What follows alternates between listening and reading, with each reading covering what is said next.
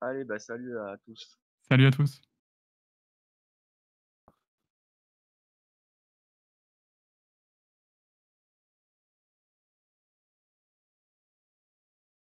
OK Vincent, tu es dans le studio, tu peux relancer ta ta vidéo du coup?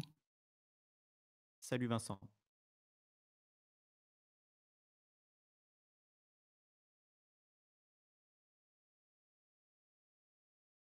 Vincent nous entend?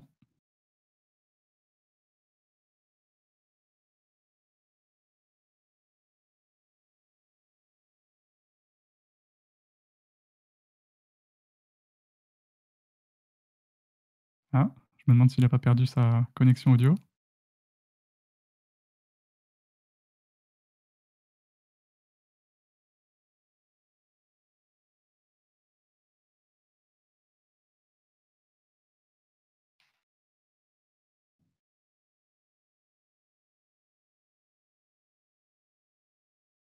Kali, est-ce que tu m'entends? Heu, oui, je t'entends. Là, je parle, heu, je parlais sur mon stream. OK. En attendant, heu, je meuble en attendant que que Vincent, rétablisse son micro. Ah ouais, je suis là moi pourtant. C'est bon. Vincent, on t'entend on t'entendait pas avant. D'accord, OK. Sois Tu peux juste relancer du coup ta caméra Je relance ma on caméra. et on pourra commencer. Du coup, je je vais t'annoncer, heu, je vais juste vérifier avant que le stream fonctionne bien, et qu'on est en live du coup. Hem si quelqu'un peut me confirmer ça. Donc ouais, je crois que c'est bon, on tourne.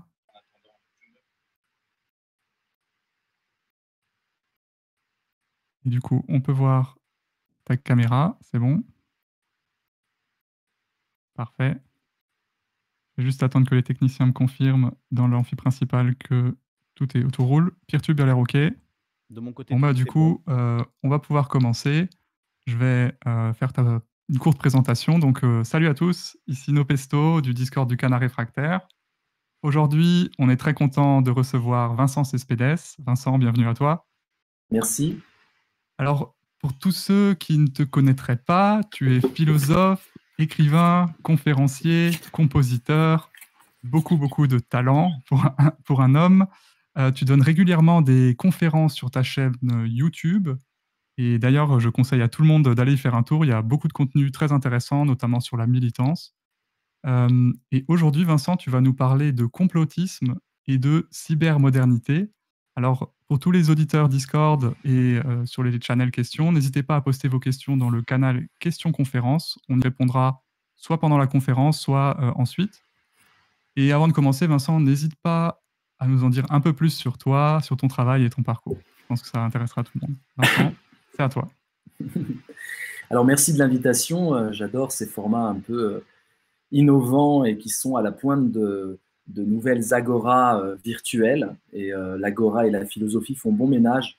La philosophie, c'est exactement ça à la base, des gens qui discutent, qui dialoguent, voilà, qui essaient d'être dans la bienveillance, qui peuvent être dans les objections, mais voilà, qui essaient de d'organiser le savoir en se l'appropriant, en le partageant et heu et donc pour moi, c'est vraiment la philosophie du futur, tous ces supports-là, pour peu qu'il y ait de la philosophie bien sûr dans le contenu, mais la forme, heu, est extraordin extraordinairement intéressante à à investir. Moi, je l'ai fait depuis 2016, heu, voilà, Mmh. puisque sur Facebook, il y a eu les les lives, possibles quand on avait la la petite pastille bleue, dès 2016.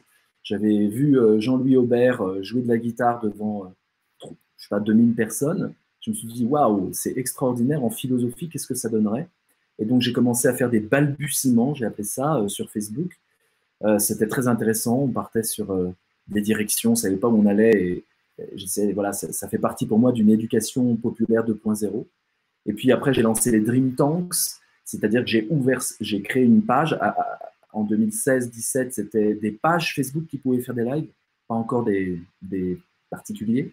Donc on a créé la page Dream Tanks, on a fait en une année 450 lives philosophiques où des gens, heu, ça pouvait être des réfugiés, ça pouvait être des gamines de 17 ans, parlant de l'école et de l'éducation, tenaient pendant 1 heure, heu, selon une méthodologie que je donnais, heu, une agora vidéo, un Dream Tanks et puis, et puis après voilà, là maintenant je suis plus sur YouTube et et maintenant la technologie s'est démocratisée.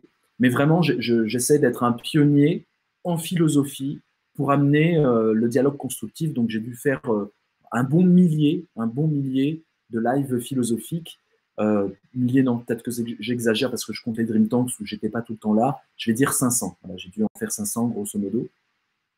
Et donc c'est très intéressant. Euh, en plus des livres, en plus des conférences, il faut réinventer la philosophie au contact des nouveaux outils, au contact de ce que j'appelle la cybermodernité. Voilà. Donc euh, pour me présenter euh, brièvement, je, voilà, je, suis investi dans la philosophie totalement corps et âme. J'ai été professeur pendant cinq ans. ensuite, je me suis consacré à l'écriture. J'ai écrit une quinzaine d'ouvrages sur des thèmes comme la politique, les violences urbaines, euh, la télé-réalité, euh, l'amour. Le thème de l'amour est un grand thème. Euh, le bonheur, l'optimisme, l'ambition. mon dernier livre, c'est sur la jeunesse. Et puis le prochain qui sort en février, c'est sur la cybermodernité, l'intelligence artificielle et l'intelligence humaine dans un futur pas tellement proche, un futur plutôt éloigné. C'est une sorte de, de voilà, c'est plus que de la prospective, on flirte avec la science-fiction, mais le propos n'est pas une aventure, le propos c'est la philosophie. Donc ça c'est en février. Voilà. Donc j'ai été éditeur chez Larousse, je suis au contact à la fois de l'université à la fois de la rue, parce que je garde toujours le lien de ce que doit être la philosophie, c'est-à-dire dans la rue et avec des citoyens. J'étais, euh, voilà, je, suis évidemment tous les mouvements sociaux avec cette idée d'éducation populaire et de philosophie pour tous, voilà, grosso modo, pour me présenter. Tu es un euh, spécialiste de, l'éducation populaire, on peut dire, euh, avec tes, conférences de la philosophie, ou, comment tu te définis? euh, Spécialiste, moi, c'est la philosophie, en fait. Tu vois, je, comment me définir? Je suis philosophe. J'invente une pensée nouvelle qui n'est pas la répétition de pensées anciennes, une vision globale du monde sur 15 ouvrages. J'étais une vision du monde argumentée, on est rationnel. Hmm. C'est une pensée rationnelle, politique, avec des implications esthétiques, politiques, voilà, donc c'est de la philosophie. J'ai vu que tu avais fait une application euh, euh, téléphone aussi. Tu peux nous parler de ça un peu? Oui, je, veux amener la philosophie sur les supports cybermodernes. Et donc, euh, j'ai créé une société pour développer des applications. On a développé un jeu de tarot que j'ai créé pour que le hasard puisse nous aider à réfléchir en dehors de nos créneaux mentaux. Donc, ça s'appelle le jeu du phénix. C'est un succès qui m'a dépassé, mais surtout un succès dans le monde du, on va dire, du développement personnel New Age euh, un peu ésotérique, alors que le jeu n'est pas du tout euh, fait pour l'ésotérisme. Donc je me suis beaucoup bataillé. C'était, c'était vraiment un pari que j'ai fait de, alors que j'étais, voilà, je, je, je, fais de la philosophie, de sortir un jeu de tarot. Je ne sais pas si vous voyez le, le, comment dire, la dissonance cognitive que ça peut créer euh, mm-hmm. dans le monde de la philosophie, mais je l'ai assumé. Je crois que j'ai réussi. J'ai eu deux pages dans l'IB dès que c'est sorti en disant voilà, philosopher, est-ce jouer? Et où j'argumente bien que c'est le hasard. On n'a pas besoin d'hypothèses mystiques. On peut dire c'est le hasard. Et euh, il y, a évidemment des philosophes qui sont de mon côté. Euh, Leibniz avec la caractéristique universelle, Lull, Raymond Lull qui invente des combinatoires pour penser le monde. Voilà, il y a tout un courant philosophique comme ça, rationaliste, mais euh, qui, aime bien le hasard. donc, on a développé donc l'application Jeu du Phénix. Je tire ma carte du jour tous les jours, évidemment ça me fait réfléchir. C'est une sorte de petite micro-méditation quotidienne, sans y adhérer, mais voilà. J'ai créé PhiloHack, alors là, beaucoup plus ambitieux. Euh, c'est une application qui euh, essaie de compiler 2000 ans de philosophie et puis de, voir comment une intelligence artificielle peut nous, peut nous aider à, fabriquer du sens. Et c'est d'ailleurs le thème de mon prochain livre, puisque euh, j'invente un, une IA philosophe dans le prochain livre, mais dans le futur, donc extrême, un Socrate virtuel puissance 1000. Et j'ai, voilà, il y a aussi une application qui s'appelle DeepPro où on scanne les valeurs de, des gens pour toujours dans l'optique du connais-toi toi-même. Qu'est-ce que tu fais par rapport au miroir que l'application te tend en disant c'est peut-être ça tes valeurs et du coup tu dois évidemment réfléchir, te prononcer. Donc il y a plein d'autres applications. On essaie vraiment de, voilà, de, de voir comment la cybermodernité peut, peut être philosophe, à quelles conditions. Et si j'ai une spécialité, c'est juste parce que j'expérimente tout ça. Et donc j'ai euh, j'ai des échecs, j'ai des erreurs, j'ai, il y a des bugs dans les communautés qui se créent. Euh, donc j'ai l'expérience de ça, voilà. Ça, m'intéresse. Euh, ok. Est-ce que vous m'entendez? Ouais, On t'entend super, ouais. ouais. Euh, et du coup, pourquoi aujourd'hui tu voulais nous parler de, complotisme et de cybermodernité Eh oui, eh oui, eh oui. Alors c'est le thème de la journée parce que c'est pour moi ce qui est le plus important. Euh, le canard réfractaire se situe bien à gauche. Donc je trouve que c'est important de méditer parce qu'il y a une échéance électorale qui arrive, parce qu'on n'arrive plus à se parler, tout simplement, à gauche. Le dialogue n'existe plus. Et des tentatives comme la vôtre, ben moi je me réjouis, c'est pour ça que je participe, hein, c'est parce que j'ai bon espoir qu'il y ait du dialogue possible. En fait, ce qu'on a perdu à gauche, c'est le dialogue apaisé. Il n'existe plus, il n'est plus possible. Vous, vous balancez quelque chose sur Twitter d'argumenter, d'apaiser, euh, qui n'est pas dans le il y a des méchants, il y a des gentils. Hein. dès qu'on sort de la binarité, on se fait incendier. Moi, j'ai pas aucun problème à être incendié, tout ça. C'est pas du tout euh, une déploration sur la violence des réseaux sociaux. C'est pas ce que je suis en train de vous dire. Mais en fait, il n'y a pas de dialogue, tout simplement. Il n'y a pas de dialogue. Et en fait, plus j'analyse ça, la raison d'un dialogue impossible à gauche, euh, et on l'a vu déjà en 2017, hein, c'était vraiment euh, violent. Je me suis brouillé avec plein d'amis. Euh, voilà, c'était extrêmement violent. Ce qu'on a vécu en 2017 à gauche, extrêmement violent. Sur quelles questions, du coup? Sur les questions faut-il voter Mélenchon? Le PS, c'est tous des pourris, des vendus, des mmh. sociotraîtres. Voilà, donc c'est pas apaisé. Moi, je suis tout à fait pour qu'on critique le PS et toutes les obédiences de gauche, aucun problème. Mais dans l'apaisement, dans la volonté de construire. Or, ce que je vois depuis 2017, mais bien avant, je vois de la haine à gauche.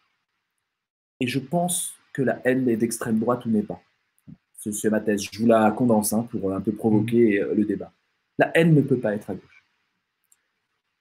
La haine n'est pas de gauche euh, euh, et, des figures de gauche nous font croire ça. Nous font croire que euh, qu'il faut haïr l'ennemi.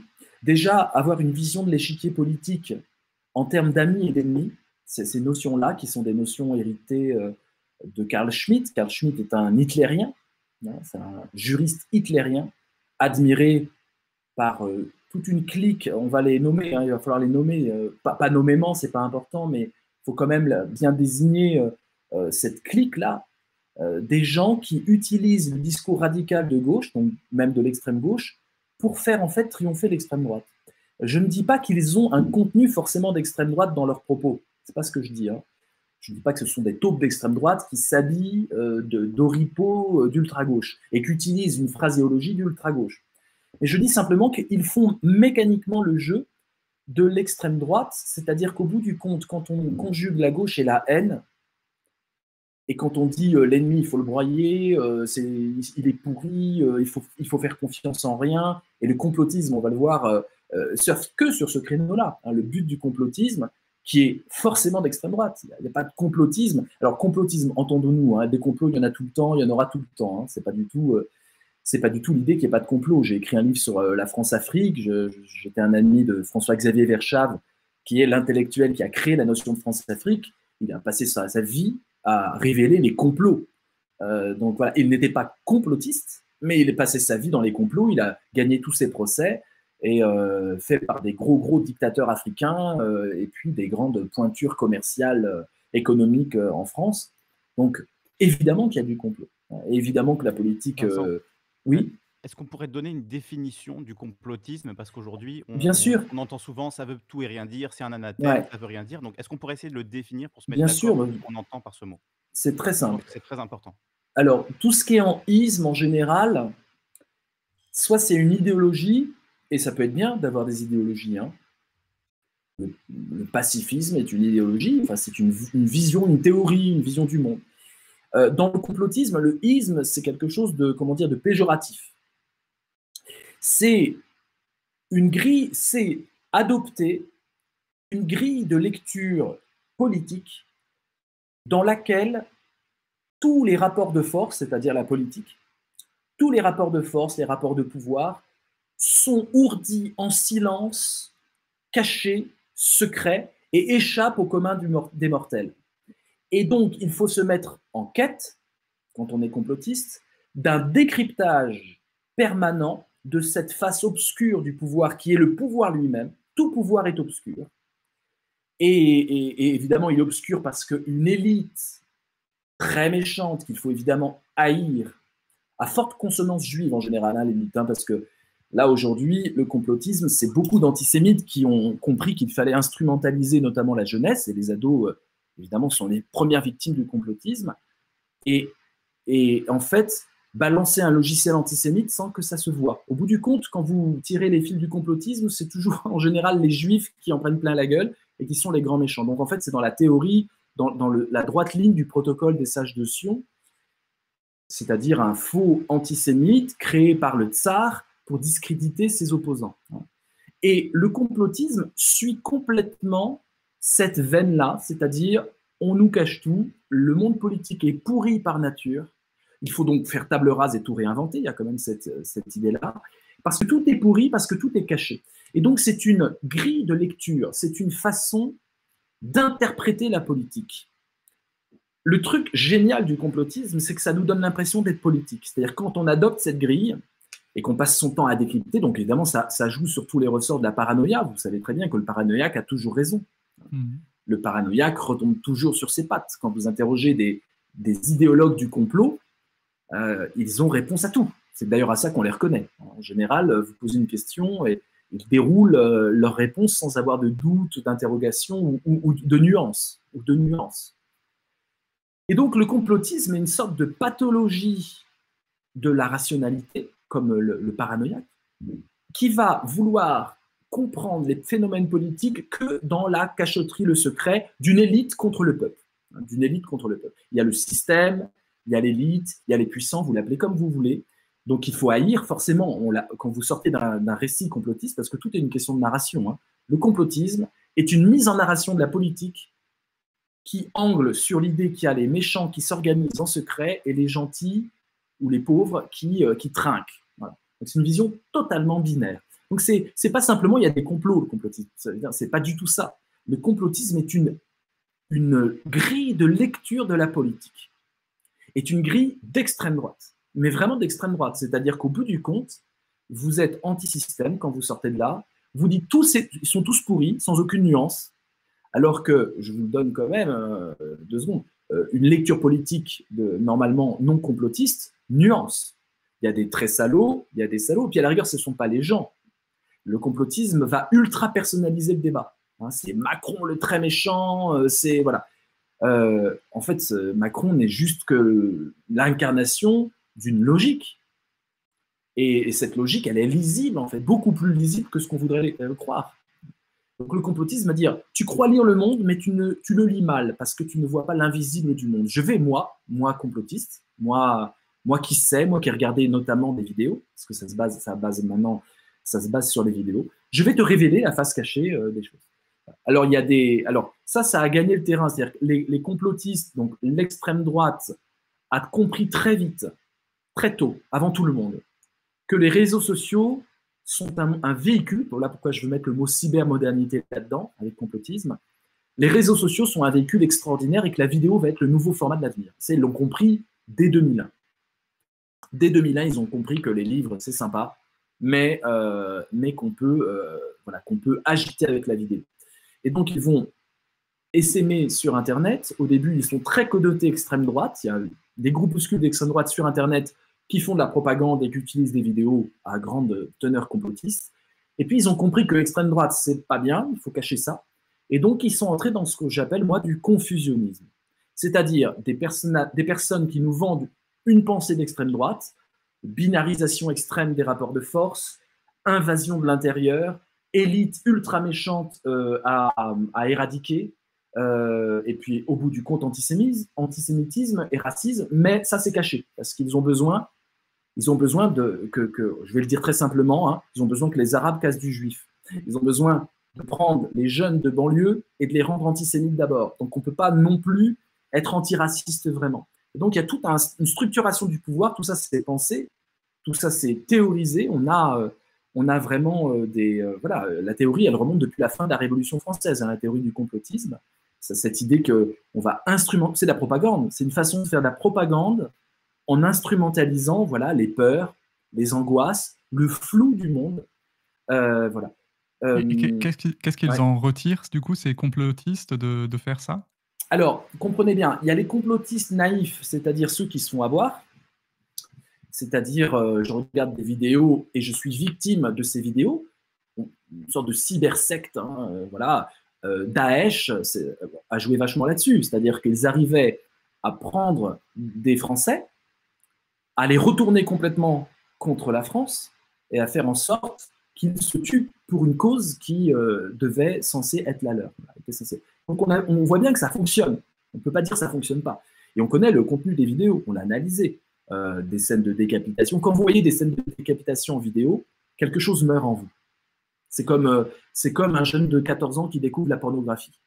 C'est-à-dire, tout d'un coup, sa sexualité va être complètement, s'il se laisse aller à ça, va être complètement pornographié. Il va vouloir refaire les choses. C'est traumatisant. En fait, c'est un traumatisme et il croit que c'est ça grandir. Alors, Daesh, c'est évidemment une autre, c'est une autre commune, sans, sans commune mesure, mais c'est vraiment l'idée de provoquer une effraction émotionnelle. C'est comme si vous participiez, si vous voulez. Vous participez à quelque chose de honteux et puis un, gap moral se brise.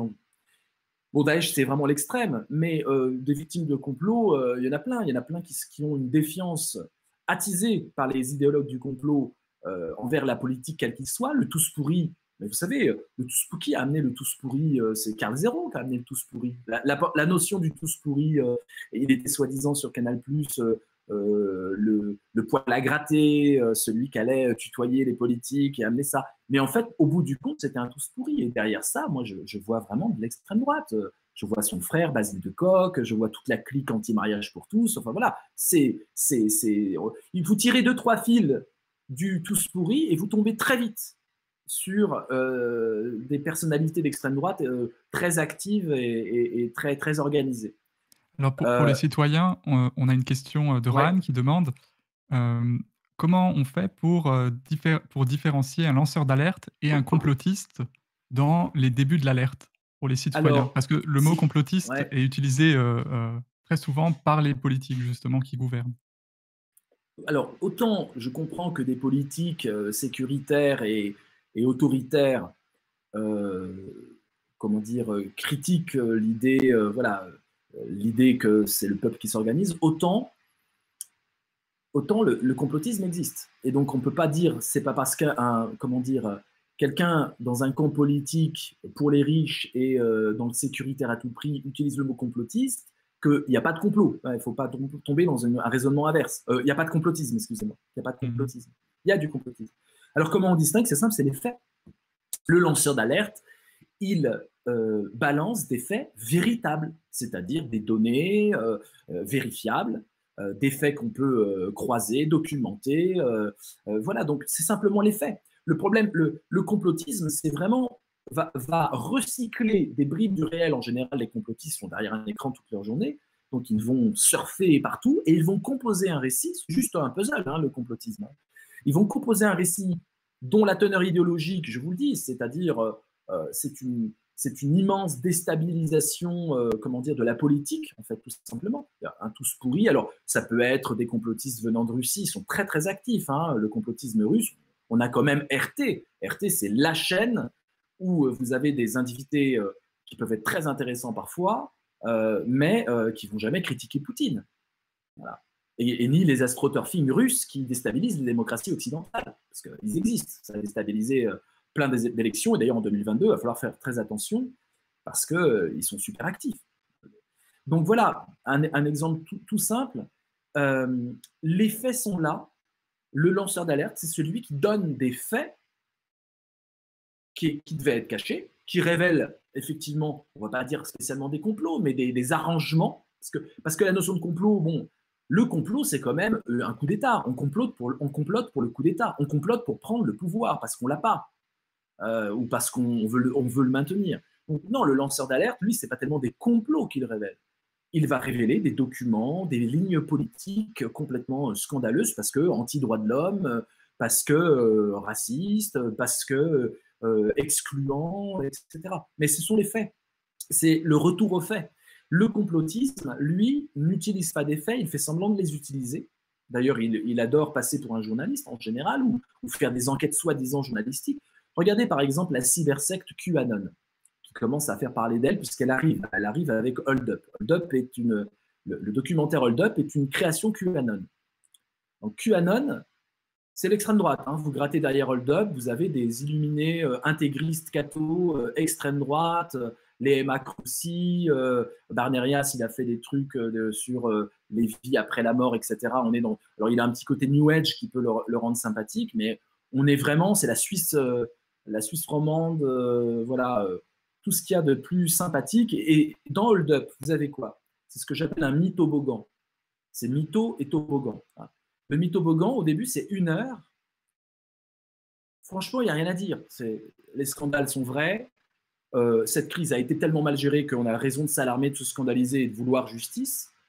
Euh, tout, est, tout est bien. Donc on est en haut du toboggan. On monte sur le toboggan avec le petit frisson d'excitation de dire enfin on veut quelque chose. Et à la fin, vous voyez, vous prenez le toboggan en cours et vous commencez à glisser dans le complot. Le bac à sable, c'est la théorie du complot puissance 10. Hein, ils ont tout mélangé. Hein. Aujourd'hui, vous regardez où, se porte le scepticisme. Hein. il se porte sur les vaccins, il se porte sur la 5G, il se porte sur les politiques. Le scepticisme. Et je suis pour qu'on soit sceptique. je suis pour qu'on doute de la parole officielle. Euh, je, suis pour qu'on mette en question euh, euh, voilà, les récits officiels, évidemment. Il faut aller creuser, mais avec des faits. Pas avec du délire avec des faits rationnels partageables et pas avec des tu sais quoi, regarde cette vidéo, ça va changer ta vision du monde. Dès qu'on vous dit ça, on veut vous enfumer.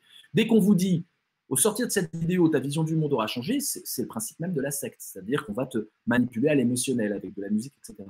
Et hmm. à la, fin, à la fin de Hold Up, vous avez quoi? Vous avez le système est totalement pourri, on veut nous manipuler, nous tuer, on veut tuer les pauvres, on veut, on veut nous fliquer avec de la... Ils ont mélangé tout le scepticisme d'aujourd'hui, les vaccins, le 5G, ils ont tout mis dans un gloubi-boulga et au bout du compte, on fait quoi? Au bout du compte, on vote extrême droite, ou on, s'abstient de voter. Le but des complotistes, c'est soit qu'on vote extrême droite, soit qu'on arrête de voter, ce qui revient finalement à faire que l'extrême droite a un boulevard.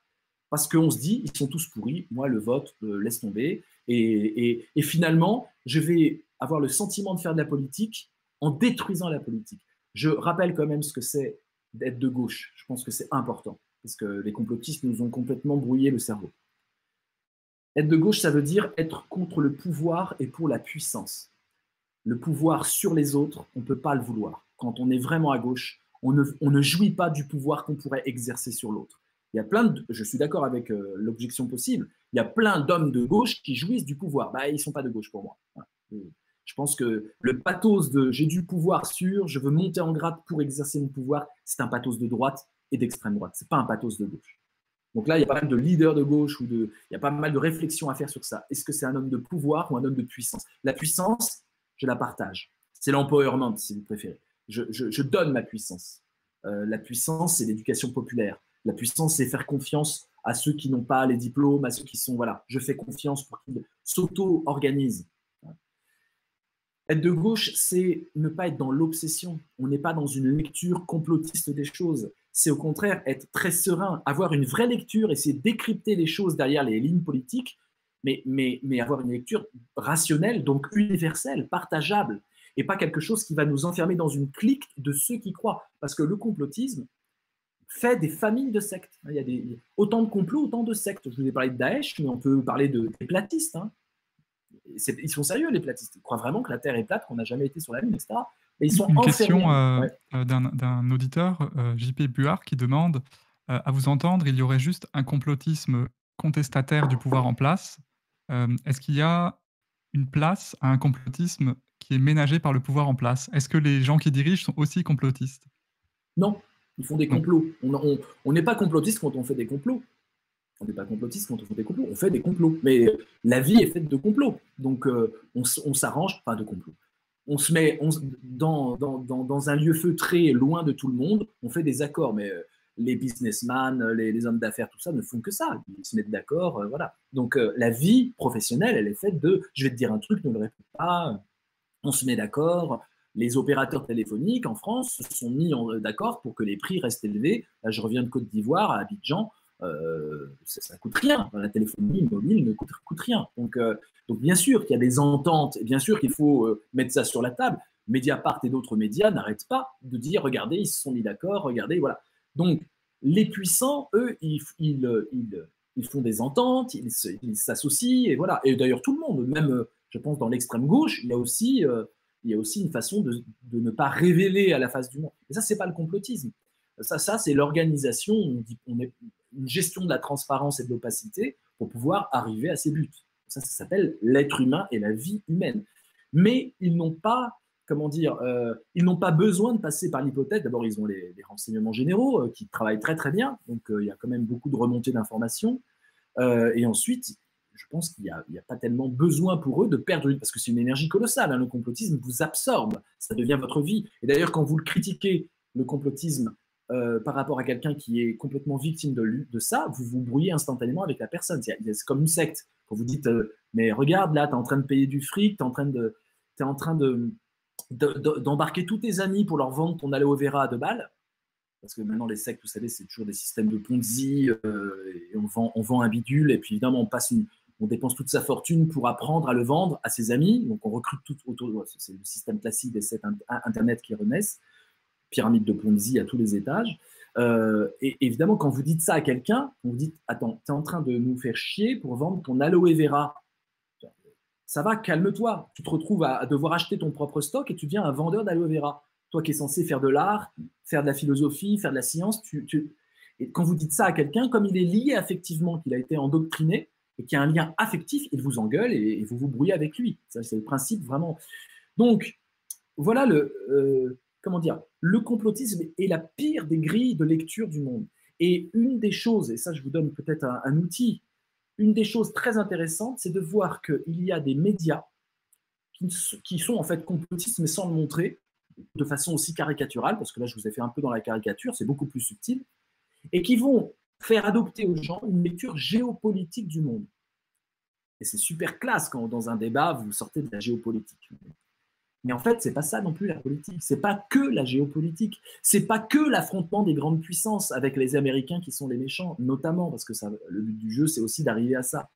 Euh, la lecture géopolitique est intéressante, comme toutes les lectures du monde, mais ce qu'il faut aussi, c'est une lecture politique. On peut bien dire il y a de la géopolitique, mais à un moment, il y a des civils syriens qui sont tués. Donc, euh, ces civils syriens, ils n'ont pas demandé, comment dire, euh, c'est pas seulement l'analyse géopolitique qui pourra nous expliquer euh, le destin des civils, de nous, en fait. Et donc, il faut revenir à un degré non pas complotiste, non pas géopolitique, c'est au-dessus que ça se passe, type rien, il faut juste essayer de décrypter les arcanes des puissants, mais juste de ce que l'on peut faire ici et maintenant, dans mon quartier, dans ma ville, dans mon pays, comment il y a des vrais rapports de force qui sont super lisibles.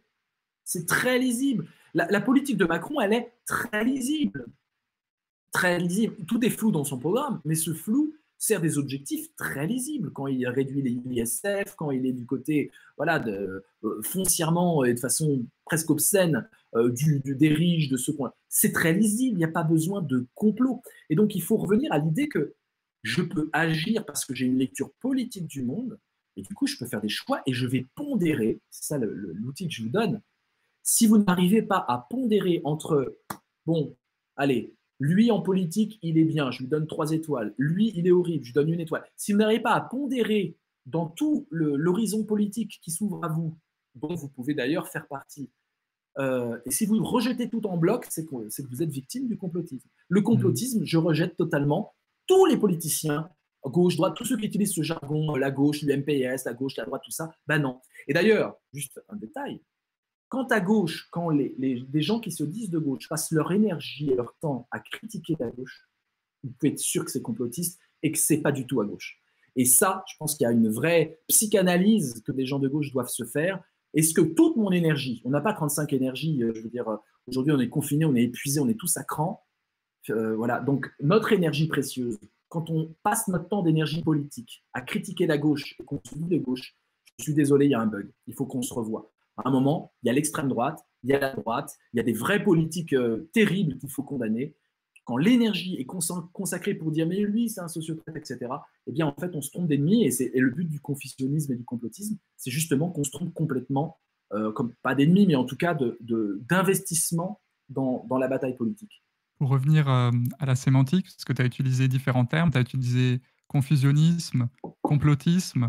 Il y a un, un auditeur trop fou qui demande euh, ne devrions-nous pas nommer ce courant conspirationnisme, qui à mon sens est plus adapté, car un complotiste serait quelqu'un qui conspire, qui complote, mais pas nécessairement qui dénonce le complot. Est-ce que tu peux nous expliquer les différences sémantiques entre ces différents termes?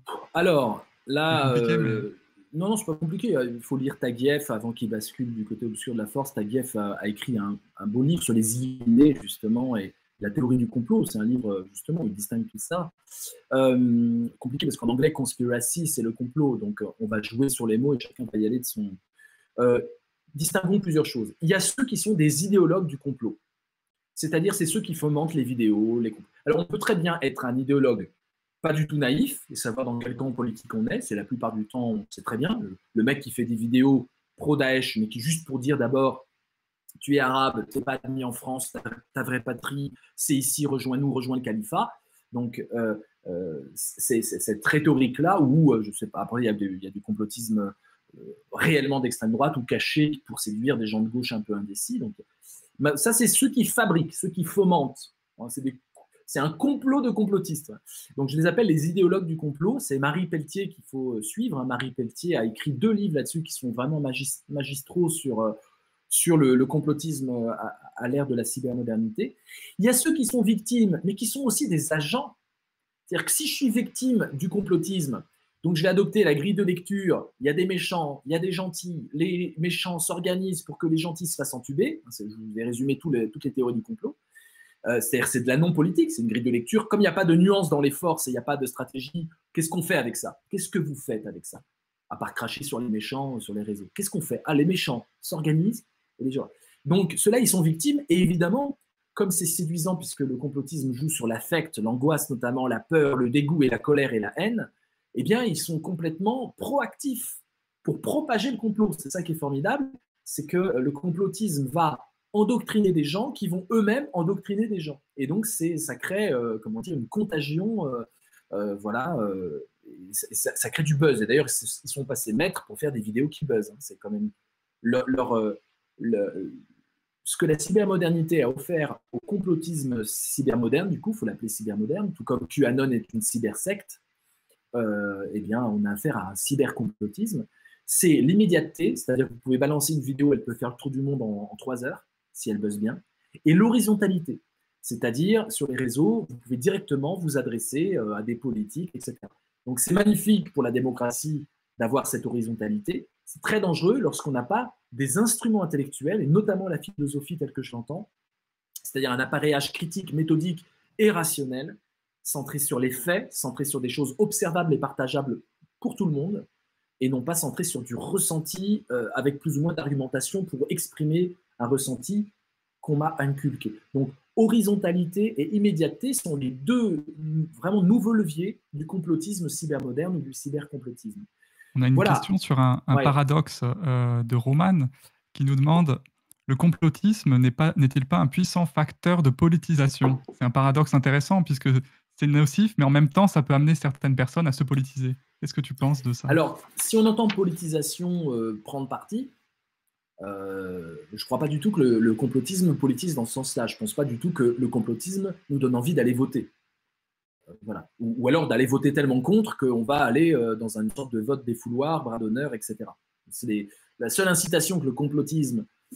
Ou alors on tombe dans cette spirale du RIC, c'est-à-dire mais poussé à l'extrême, c'est-à-dire que le seul horizon politique possible, c'est de tout foutre en l'air et de recréer un truc rien qu'à nous et on pourra jouer à un nouveau jeu moi j'appelle ça la ricolatrie, parce que c'est bien le, euh, de demander des initiatives citoyennes, moi j'adore, hein, c'est ce que j'appelle la néo-résistance, et il faut être néo-résistant, mais, mais, euh, mais les institutions, euh, elles sont, il y a beaucoup de choses qui ont été construites qu'il ne faut pas rejeter. il y a des institutions, il y a des lois, ok, il faut les utiliser, il faut que ça fonctionne, mais il y a plein de blocages démocratiques, c'est pas pour ça qu'on va tout foutre en l'air non plus, donc donc c'est une vision en fait dépolitisante. Au bout du compte, si si la lecture politique, c'est de dire il faut tout éradiquer et puis tout reconstruire, ça ne fonctionne pas. Et ça, encore une fois, ça, ça sert de la pensée extrémiste, euh, ça sert de la pensée, euh, comment dire, ça, ça, sert les grandes gueules, ça sert ceux qui auront le plus de bagou et de charisme pour passer devant la meute, au bout du compte. Mhm. Parce que ce qui nous protège justement des grandes gueules, c'est justement euh, notre, appareil où tout est, où il y a des lois, où il y a des institutions pour éviter l'homme providentiel qui arrive et qui disent venez ma bande, on fait le monde. Et voilà, donc il faut que, il faut tout, tout l'enjeu de la néo-résistance, que j'appelle la néo-résistance, c'est-à-dire une résistance par rapport à l'injustice et à l'oppression tout le temps renouvelée. C'est un néo, mais tout le temps, hein, c'est tout le temps néo, tout le temps réinventé. Euh, c'est vraiment l'enjeu premier, c'est vraiment de, de, de, de, travailler sur une grille politique nuancée, apaisée. En fait, l'indice qu'on n'est pas dans le complotisme, c'est l'apaisement dans le débat démocratique. L'apaisement. Dès qu'on est excité, dès qu'on est hystérique sur des ennemis, euh, et notamment des ennemis à gauche, comme par hasard, dès qu'on n'en peut plus, dès qu'on est à, à bout de nerfs, on n'est on n'est pas dans une grille politique. Et donc, retrouver cet équilibre politique où je sens que je peux agir politiquement. Agir politiquement, c'est prendre des. C'est en fait utiliser sa vie à faire bouger le monde. C'est très concret. C'est pas juste bidouiller derrière un ordinateur. C'est concrètement faire. C'est. Moi, J'essaye, moi, par exemple, dans mon métier d'intellectuel, bah, j'essaye, quand j'étais éditeur, de recruter euh, des profils nouveaux de philosophes. Euh, voilà, j'ai recruté Rokhaya Diallo, euh, qui n'était pas du tout philosophe. C'était son premier livre. Je l'ai édité parce que je voulais une noire philosophe, parce que je trouvais qu'il n'y avait pas assez de couleurs dans la philosophie, une femme, parce que je trouve qu'il n'y a pas du tout de femmes dans la philosophie. Voilà. Euh, et donc, c'est- de dire à mes auteurs, mettez, mettez plus de femmes dans les index. C'est tout bête, mais c'est un vrai combat avec des auteurs. Et euh, parce que je suis un féministe radical, absolument radical. Euh, c'est voilà, c'est faire ces lives où je, alors vraiment je gagne pas un euro et je dépense. je veux dire, j'ai pas écrit un livre depuis 2015. Il y a toute l'aventure cybermoderne que je vous ai décrite, c'est-à-dire euh, 500 lives, etc. m'ont totalement empêché, m'a totalement empêché d'écrire des livres. On peut pas tout faire. Je sais, je, je- je n'ai pas des gens qui écrivent mes livres à ma place. Et donc euh, il y a de l'investissement, chacun avec son milieu. On peut s'investir, euh, en, euh, quelle que soit notre vie. Mais la lecture politique fait que je m'investis. Alors que dans le complotisme, ce que je vais faire avec mes petits bras, avec mes 24 heures, avec mon énergie, c'est de répandre le complotisme. C'est-à-dire que je vais, je vais faire blabla avec la bouche. Blabla avec la bouche. Et donc, il faut revenir, je Mm. pense à gauche, juste une fraction de seconde, je- il faut revenir à gauche à l'idée que si tu veux vraiment euh, euh, aider la gauche, il faut faire. Il faut euh, se réunir, réinventer le monde et faire avec ce qu'on a à portée de main, pas des choses totalement abstraites et fumeuses. Vincent, j'aimerais poser Ouais. la, la question euh, des, euh, des causes de, de la viralité du complotisme et du fait que ça marche aussi bien euh, et, et se poser la question finalement des conditions aussi de vie de beaucoup de gens. On parle de 10 millions de pauvres en France, on parle d'une pauvreté galopante, de plein de gens qui ont perdu leur emploi, d'un manque de sens, d'une perte de confiance absolue envers les institutions, qu'elles soient médiatiques, politiques. Tout ça, c'est quelque chose qui existe et qui est un carburant au complotisme. Et comment on lutte euh, justement contre ces, ces causes qui, qui- parce que tant qu'on n'aura pas réglé ces questions euh, voilà, de pauvreté extrême, de misère euh, à tous les niveaux dans beaucoup de pays, en fait, le complotisme continuera à se, à se développer. Il n'y aura pas de retour de la confiance euh, avec un Macron au pouvoir. Visiblement, ça ne marche pas en tout cas. Alors, ouais. Alors, en fait, c'est très facile. Il faut. C'est pas facile avec le Covid, mais euh, il y a des choses à inventer. Il faut aller dans la rue. Très facile. Le complotisme ne va pas dans la rue. Le complotisme est sur Internet, derrière des écrans, à faire des vidéos de montage où il va recycler du vrai et du faux pour nous confondre, créer des mythes toboggans qui nous enfument. Il faut aller dans la rue. Là, je, viens d'Abidjan. J'ai visité à Abidjan. euh, je faisais une conférence. euh, et ensuite, j'ai pris du temps pour aller visiter des quartiers très pauvres d'Abidjan. Quand je dis très pauvres, là, on est vraiment dans la, dans la misère. hein. Et c'est pas mal l'Afrique, parce que là, l'Afrique, euh, il y a plein de complots à tous les niveaux, et pourtant, ils sont pas complotistes. Il n'y a pas de complotistes en Afrique. Il y en a quelques-uns, parce qu'il y, y a des religions qui essaient de s'implanter. Il n'y a pas de complotistes. Ils savent que ça complote. Ils savent très bien qu'il y a une captation des richesses par euh, l'élite, et pourtant, ils sont dans la politique. Ils ne sont pas dans la lecture complotiste des choses, et, c'est ce qui les sauve. Alors, ça donne quoi Quand vous voulez faire de la politique à Abidjan? Eh ben, J'ai suivi un préfet, un ancien préfet. Euh, préfet, c'est les préfets de là-bas, hein, c'est pas les préfets d'ici. euh, c'est pas voilà, c'est préfet, c'est proche de la population, parlant aux chefs de quartier. Enfin, c'est à, à l'africaine.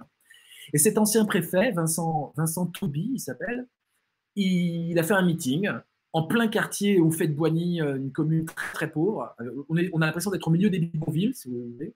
Euh, tout, est délabré, les enfants sont un peu livrés à eux-mêmes, même si c'est à l'africaine, donc il y a toujours voilà, des adultes qui veillent à eux, mais c'est pauvre, c'est sale, c'est voilà, c'est on se dit waouh, c'est la misère. Ils ont planté des tentes, ils ont mis des haut-parleurs, et il a fait son meeting en parlant aux gens, alors à l'africaine, avec une rhétorique émotionnelle aussi, mais aussi euh, des problèmes des gens. Il- C'était centré sur restaurer la paix. Il faut la paix parce que c'était chaud après les élections à Abidjan. Et ça parle, ça discute, ça, ça danse après. C'est pas l'image d'Épinal. hein. Les meetings politiques, on a envie d'y être parce que c'est une fête en fait. Euh, c'est c'est joyeux. Il faut qu'on réinvente ça, notamment à gauche. Il faut réinventer l'idée qu'aller à aller dans la rue faire de la politique, ça peut être un moment de bonheur, de cohésion, de joie, même si on n'est pas d'accord sur tout. Ça, on l'a oublié.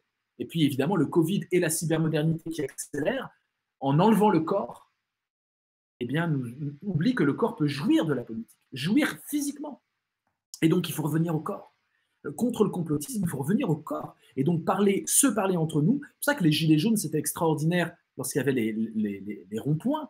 Parce que tout d'un coup, il y avait un retour au corps dans un monde et on se comprenait que les autres avaient les mêmes problèmes que moi. C'est-à-dire qu'il y avait un partage de problèmes.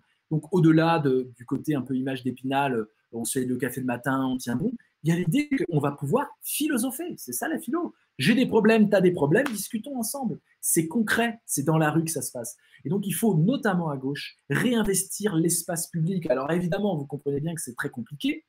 Euh, voilà, il faut réinventer. c'est pour ça que Discord, j'adore. J'ai moi-même, euh, moi-même un, Discord qui, est plus trop actif, mais avec ma communauté euh, sur YouTube, on, on, investit tout, donc on investit ça aussi.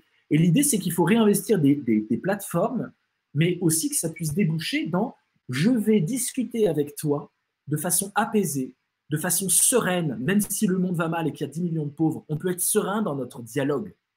Même le pauvre peut être serein dans le dialogue. C'est peut-être les plus serein d'ailleurs. Il y a des gens qui c'est difficile d'être serein et apaisé aujourd'hui.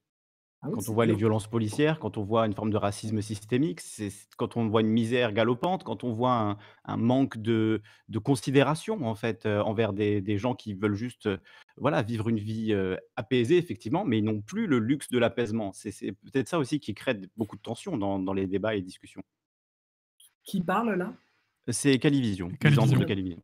Qui est avec nous. D'accord. Non mais le prénom, ah oui c'est Lisandre, c'est ça? Mon prénom c'est Lisandre. Comment? Lisandro. Lisandro, ok. Lisandro, ok. Euh, bonne question. Alors, quand je dis apaiser, ça ne veut pas dire euh, qu'on n'est plus en colère par rapport aux injustices. C'est l'apaisement, c'est avec l'autre en face qui subit d'ailleurs les injustices ou qui partage euh, l'exécration commune des injustices. On peut exécrer les injustices. on peut, si on est à gauche les deux, on peut discuter ensemble. On peut en parler. Et ça peut être passionné, mais donc comprenez bien, je ne suis pas en train de dire soyez bisounours, il y a des injustices, mais il faut, faut être apaisé. Non, ne soyons surtout pas apaisés par rapport aux injustices, mais apaisés dans le dialogue. Euh, qui utilise les réseaux sociaux ou dans le vrai dialogue, c'est vrai que c'est plus simple quand les corps sont là. C'est toujours plus simple de se parler quand les corps sont là. On l'a bien vu. Je crois que c'est la grande leçon du confinement, c'est que bah, le présentiel, comme ils disent, est, nettement supérieur parce que euh, les regards qui impliquent un corps, bah, on ne se regarde pas de la même façon, on ne se nourrit pas de la même façon. Donc il faut être totalement en colère contre les injustices. C'est d'ailleurs pour ça qu'il faut être apaisé dans le dialogue. Plus on est en colère contre les injustices, plus il faut dialoguer. Quand vous allez mal dans votre vie, vous avez besoin de parler, vous avez besoin de trouver des solutions, et c'est dans le dialogue que ça se fait.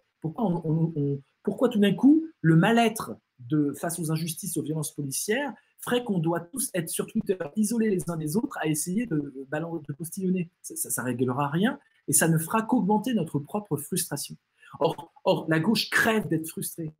Donc il faut sortir de la frustration, se dire que là, cette journée que j'ai passée, j'ai fait un tout petit peu avancer les choses, j'ai dialogué, on a avancé, et ça c'est très concret et c'est très physique.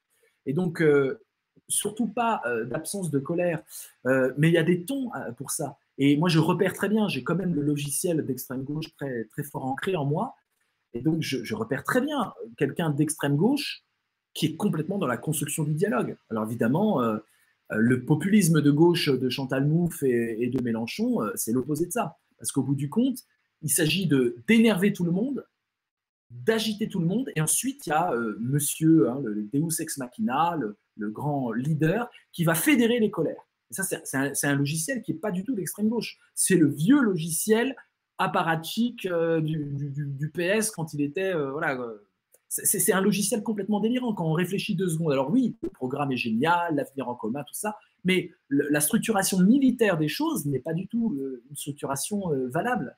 Et donc il faut, euh, plutôt que d'attiser le ressentiment et d'avoir des gens qui sont dans l'hystérie et le ressentiment, y compris lorsqu'ils se parlent et qui sont censés être dans le même camp, il faut absolument arriver à de l'apaisement, à de la bienveillance envers l'autre. Si l'autre a tort, bah, je vais peut-être le convaincre. Et donc on est apaisé, c'est pas en l'insultant, et en le méprisant, parce que c'est vraiment le mépris, hein, c'est vraiment, c'est vraiment ce que l'on voit là, c'est la tentative d'amener le mépris dans la gauche. Une gauche qui méprise. Ça ne va pas, c'est presque oxymorique. On n'a pas à mépriser l'ennemi, on a à le combattre. C'est pas en le méprisant qu'on va le combattre, c'est en le comprenant. Euh, est-ce qu'on peut parler un peu cybermodernité et, censure? Puisqu'on nous dit qu'Étienne Chouard aura un peu de retard, donc on, a du temps.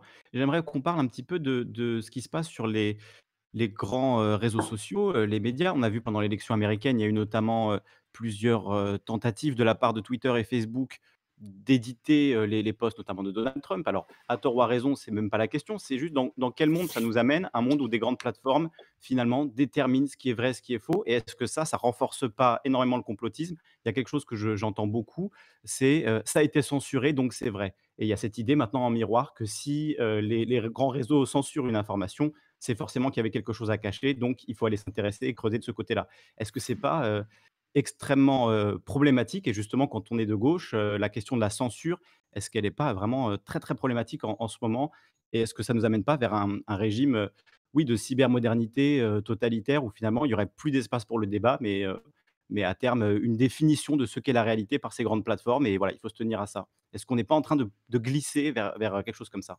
Alors, sans, sans vouloir t'attaquer du tout, c'est exactement l'argument complotiste que tu viens de dire. Ce que tu viens de déplier là, c'est l'argument complotiste. C'est-à-dire, on nous censure. Personne n'est censuré parce qu'il a, des opinions politiques.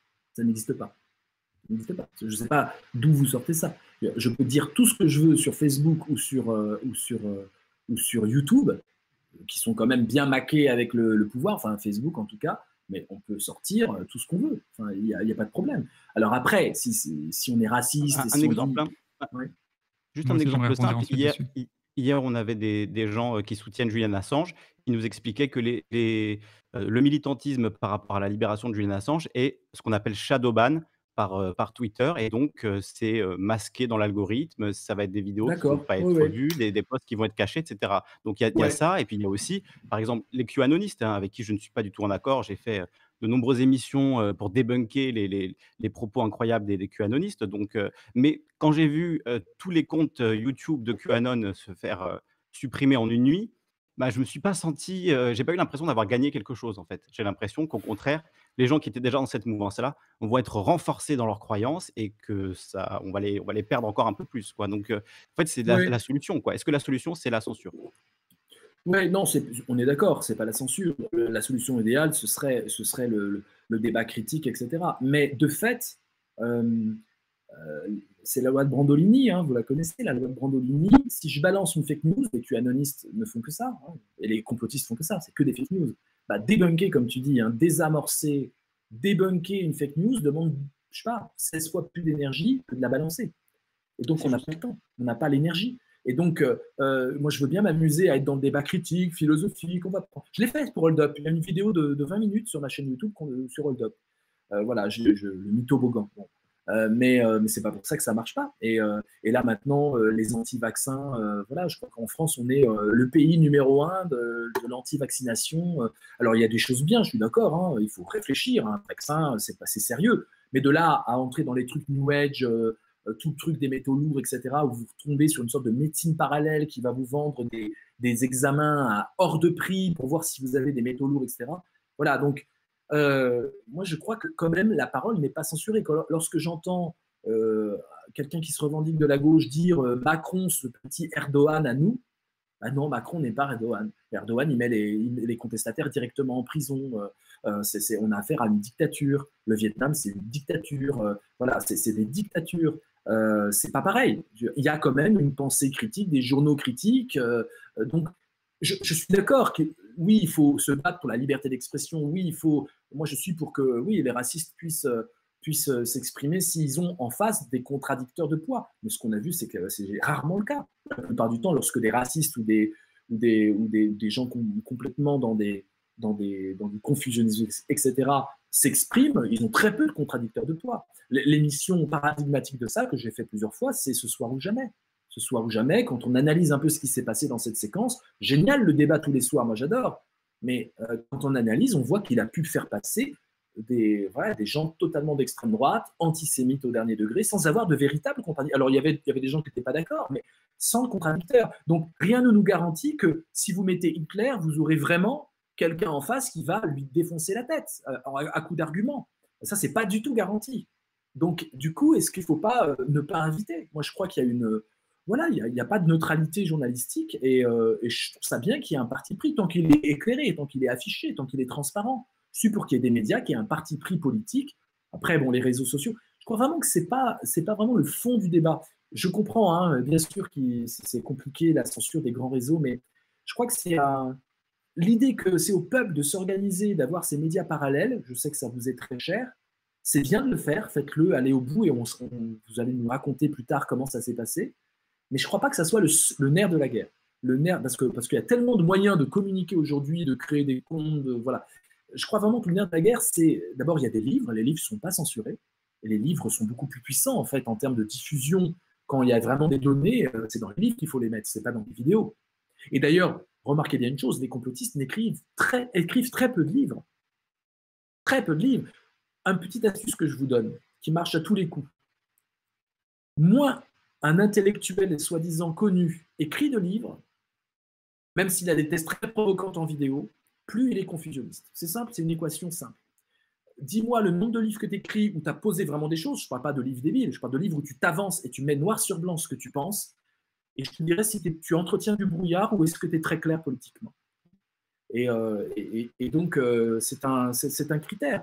Euh, il y a des livres, ils peuvent être diffusés, ils ne sont pas brûlés, ils ne sont pas bannis. Alors oui, les grands médias n'en parlent pas si le livre peut être subversif, oui, mais c'est pas bien grave. Enfin, je veux dire, le livre existe. Le livre existe, donc la pensée existe. On accède au livre et, on y va. Donc je crois que ce n'est pas le seul nerf de la guerre, même s'il faut évidemment, heureusement qu'il y a des gens comme vous, à l'avant-garde avec Pertube et autres, à l'avant-garde de ce qu'on peut faire pour libérer les moyens de diffusion. Évidemment, je, suis, je vous applaudis. Euh, moi, je n'ai pas cette énergie-là et bravo de le faire.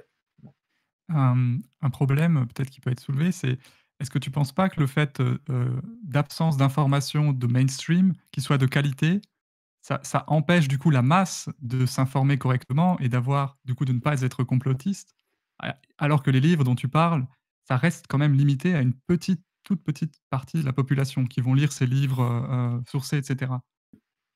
Comment tu penses qu'on peut euh, combattre ce, bah, je crois qu'il faut, redevenir, je crois qu'il faut redevenir un peu ami avec les journalistes. Je crois que les hmm. complotistes ont tellement dit que les journalistes étaient tous pourris qu'on a fini par le croire. C'est faux. Les journalistes, même quand euh, le média appartient à quelqu'un, les journalistes ont, ont, du pouvoir de passer des vraies infos dans leur journal les journalistes font un travail, il y a des notions de défiance, il y a, tout un système de, de, sourçage, de vérification des infos. Donc le journalisme mainstream peut être, orienté, évidemment. Euh, le Figaro, c'est pas euh, pas Mediapart, euh, voilà, c'est pas. mais on peut trouver dans le Figaro des articles où on se dit ouais, il y a des infos. On peut trouver voilà. Donc après c'est bah, c'est le principe même du journalisme, c'est à nous de papillonner là-dedans mais on sait quand même qu'il y a du travail sérieux. Je crois qu'il faut réhabiliter, notamment à gauche, sinon c'est plus de quoi on parle. Euh, une figure à gauche que j'aime bien et, qui se tient droit, c'est euh, euh, Olivier Besancenot. Olivier Besancenot, que j'ai suivi parce que je faisais un documentaire sur lui en 2003, lorsqu'il avait le vent en poupe. Olivier Besancenot et tous ceux qui étaient autour de lui dans le NPA, ils étaient en colère contre ce qui se passait. Euh, euh, il, lisait des journaux. Il, euh, Krivine, qui, est un ami, Alain Krivine, il lit des journaux. Les journalistes, c'est des alliés dans le sens où si tu veux de l'info, bah, tu vas lire des journaux. Après, tout le boulot, c'est de, composer un récit qui soit pas un récit complotiste, parce que sinon on peut pas agir dessus. C'est un récit qui puisse être transmis. La différence entre le complotisme et, et le récit politique, c'est que le récit politique, je te le transmets, tu agis tout de suite le récit complotiste, je te le transmets, tu dis Waouh, on est foutu, on est foutu, on est foutu. Qu'est-ce qu'on fait? Ben, On crache sur tout le monde. Donc, c'est, tout ça, c'est une question de récit. Il faut faire un récit qui soit universel, sinon on est dans l'irrationalité. Hein. Si je parle d'un récit et que je dis il faut que tu crois d'abord à l'énergie mystique dans le cosmos, bon, bah, il n'y a que ceux qui y croient qui pourront y adhérer. Donc le récit doit être basé sur des faits vérifiables. Il doit être universel, au sens il est rationnel, il n'y a pas d'hypothèse mystique. Et puis, euh, il doit engager, si c'est un récit politique, à comprendre mieux les rapports de force, très clairement, et à dire, voilà, moi, mon camp, il est là, mon camp, il est là, euh, on va faire ça pour euh, essayer de, réduire l'injustice, qui, qui doit être quand même le seul, la seule, comment dire, la seule pensée de gauche, c'est réduire au maximum l'injustice, toutes les injustices, quelles qu'elles soient. Et ça, on, on le perd de vue dans le complotisme. On a l'impression qu'il faut créer son propre média, être plus pur que les plus purs. C'est pour ça que des discours comme euh, Frédéric Lordon et d'autres, qui sont des discours euh, soi-disant de gauche, je dis vraiment soi-disant, et je pèse mes mots, parce qu'au bout du compte, détestation de l'ennemi, moi, ça, ça me pose problème. Agitation extrême, c'est hystérisant, c'est hystérisant. Euh, et puis, on a affaire à. qu'est-ce qu'on on, fait quoi quand on sort de là Quand on sort d'un discours comme ça, on fait quoi? Eh bien, on, crache sa haine. On ne sait pas quoi faire, en fait. On ne fait rien. On, applaudit le mandarin. Et cette figure de mandarin, il faut vraiment s'en méfier. Être de gauche, c'est aussi dire il n'y a pas de mandarin, il y a des pensées. Moi, j'ai jamais voulu, par exemple, euh, j'aurais pu, hein, j'ai un petit charisme, hein, j'aurais pu jouer là-dessus à fond, créer ma petite communauté hyper affective. J'ai arrêté Dream Tanks, par exemple, lorsque j'ai vu que le complotisme voulait s'immiscer là-dedans et que la seule façon d'éviter ça, c'est très intéressant, juste deux secondes là-dessus. J'ai créé Dream Tanks. J'ouvre à tout le monde, tous les internautes, des gens que je connais pas, la possibilité de faire des lives euh, et de les diffuser. À, l'époque où ça n'existait pas. Et il y avait des gens qui me suivaient, donc ils étaient plutôt euh, selon mes idées, de fait, hein, je ne les connaissais pas. Et à un moment, il y a quelqu'un qui arrive et qui balance une théorie du complot en disant Ouais, on nous manipule, regarde, et puis il sort un truc délirant. Et là, je me dis, voilà, il y a deux possibilités. Soit je laisse faire et ça devient une sorte d'agora libre, mais alors tout va arriver, évidemment, plus ça va gagner de l'importance dans les médias, plus on aura du complotisme qui va venir, parce que le complotisme, il va là où, euh, là où il peut venir. Soit je dis non, au nom de mes principes. Et, j'ai fait ça, évidemment. J'ai dit non, j'ai effacé la vidéo et j'ai expliqué pourquoi pendant une longue vidéo d'une heure en disant pas de complotisme dans Tanks. Mais du coup, j'ai la figure, tout d'un coup, j'ai la figure du mandarin et je l'ai refusé. Donc j'ai arrêté Dream. C'est dommage, c'était un beau joujou, on s'est éclaté. C'est pas grave, c'est pas grave. Ça fait partie des expériences à faire, notamment à gauche, pour, euh, pour faire que la base s'auto-organise. Parce que mon obsession, moi, j'ai quand même une grande veille d'anarchiste. Mon obsession, même si c'est du long terme, c'est que la base s'auto-organise. C'est pour ça que je, m'intéresse au complotisme, parce que c'est ce qui empêche à la base de s'auto-organiser, mais qui lui donne l'illusion de s'auto-organiser. Elle s'auto-organise en, balançant du complot et en macérant dans le complot. En fait, elle fait plus rien. Quand vous regardez des complotistes ensemble, le seul débouché, soit c'est l'attentat, c'est-à-dire à un moment, faut tuer. Si on nous manipule et qu'on est les méchants s'organisent, à un moment, je dois tuer. Donc, soit c'est l'attentat, soit c'est la secte qui s'isole au fin fond euh, voilà, de, la forêt, hein, la secte qui s'isole dans la forêt, euh, soit c'est. il n'y a pas tellement de débouchés. Et donc, c'est pour ça que ça m'intéresse, parce que si le, but pour moi, c'est un de mes buts, c'est l'auto-organisation de la base sans passer par des mandarins, et moi-même refusant la figure de mandarin, eh bien, euh, eh bien je pense que voilà, ça, dessine un peu qui on veut avoir comme figure à gauche des gens qui sont capables d'écouter, de, faire monter des talents, d'être dans un pas dans le moi-je, mais dans le nous. Euh, voilà, des, des, des, gens qui sont dans l'amour des autres, quoi. Alors, question de Raoul Lebeul dans le chat. Vous avez avez-vous lu le bouquin Les imposteurs de la philo qui consacre un chapitre à vos interventions à destination des entrepreneurs et qui dénonce vos accointances avec le patronat? Bien sûr. Tout le but est de déprécier. Donc, quand on n'est pas d'accord, on est dans l'ère de la détestation. Donc, il faut trouver des choses personnelles pour déprécier. Alors, je n'ai aucune acquaintance, euh, évidemment, avec le patronat. Je ne tiendrai pas ce discours-là. Je, n'aurais pas plaidé la cause des Gilets jaunes euh, à la télévision si j'étais euh, du côté du patronat. J'ai fait trois conférences au MEDEF, une table ronde avec Nathalie Kosciusko-Morizet sur les jeunes et Facebook. Je n'étais pas payé. C'était un débat philosophique. J'ai pu dire ce que je voulais. À chaque fois que j'interviens en entreprise, J'interviens en entreprise comme euh, à l'université, comme euh, pour des artistes, etc. J'ai plein de supports d'intervention et l'entreprise ne me donne jamais une feuille de route. Je ne cherche jamais à plaire à celui qui va, euh, comment dire, m'inviter. et, donc, ça me donne une liberté de dingue. En fait, je suis plus libre qu'un mec au CNRS. Je, je, peux critiquer tout ce que je veux, même les institutions. et donc, ça me donne une super liberté. C'est-à-dire que je n'ai aucun, comment dire, je n'ai personne à remercier je n'ai personne à remercier. Je suis totalement autonome. J'ai construit ma vie, j'ai 47 ans. Je suis très, très, très content de ce que j'ai construit. je touche du bois pour que ça dure. Je ne dois rien à personne. Aucun renvoi d'ascenseur. Je ne fais partie d'aucun réseau obscur. Je suis moi et moi, seul, cavalier seul. Voilà ce que ça me donne.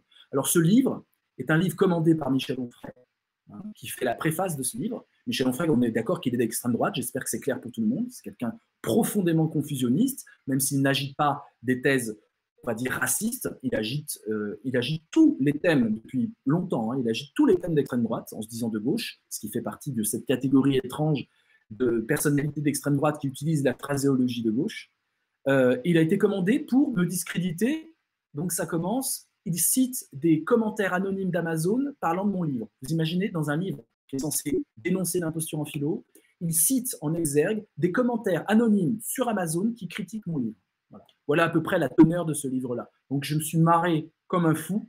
voilà, c'était un livre plaisant et, voilà qui mélange évidemment tout. Et en fait, c'est Onfray qui crache sur ce qu'il imagine la, nouvelle génération, nouvelle, hein, j'ai 47 verres, nouvelle génération de philosophes médiatiques. Voilà. Et Onfray fait son caca nerveux pour rester, euh, parce qu'il est obsédé des médias du matin au soir. Onfray se shoot aux médias. évidemment qu'il n'est pas dans la philo, il est dans, les médias. Vous le voyez, je suis sûr qu'il passe à la télé aujourd'hui ou demain. C'est un, un shooté aux médias au dernier degré. Et donc, il commande un livre pour voir le, côté piteux et qui, et qui exprime bien ce que je dis. L'extrême droite, complotiste, cherche à déprécier personnellement les gens. Jamais vous me verrez dire quoi que ce soit de personnel, j'en connais un rayon sur frère, hein, parce que c'est un petit milieu la philo, hein, mais jamais je vais m'amener sur le terrain de la dépréciation et de, l'attaque personnelle, parce que ce qui m'intéresse, c'est le combat d'idées. Il y a des idées pour lesquelles je ne suis pas d'accord, des idées je suis d'accord, il y a des lignes politiques que je refuse, mais jamais je vais dire euh, des critiques personnelles. Et, voilà. Parce que cette dépréciation, c'est quelque chose qui nous vient de la droite et de l'extrême droite, surtout de l'extrême droite. Hein. je vais déprécier l'individu comme si ce qu'il va apporter, évidemment, doit s'écrouler ce combat-là, ce que j'appelle l'octogonisation du débat. Hein. Octogonisation, l'octogone du MMA, hein, du sport, euh, voilà. L'octogone, le ring, eh bien aujourd'hui on veut que les débats soient euh, une sorte de clash. Où on Il y en a un sur YouTube par exemple qui est le, précepteur, un mec d'extrême droite, un, ami de Soral, qui, qui, aime, qui, dit aimer Michéa, mais, mais en fait qui a aimé Soral. Et lui, il est dans l'octogonisation toujours. Donc faut se méfier parce qu'il y a plein de youtubeurs, il y a plein de gens qui séduisent un public jeune et qui sont en fait des, des, gens qui vont amener une vision du débat politique sous, sous forme de clash.